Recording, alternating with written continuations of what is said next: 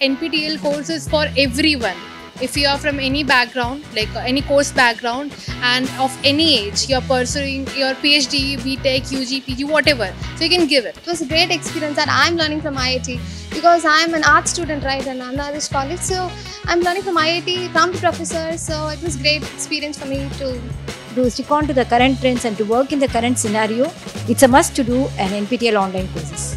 Uh, teach my students so that uh, they will be implementing the same in their projects. So the first basic thing is these courses gives us a basic ideology about the recent trends. So in curriculum we cannot cover all the subjects in that uh, specific stipulated time.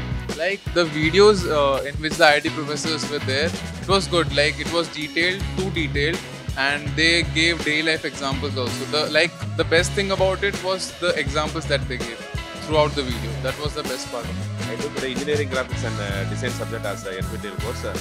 So when I went through the course content and everything, this was very nicely prepared.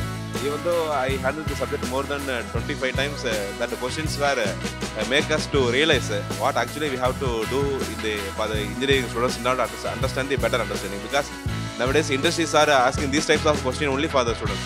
So we can change our method of teaching on par with the requirement of the industry.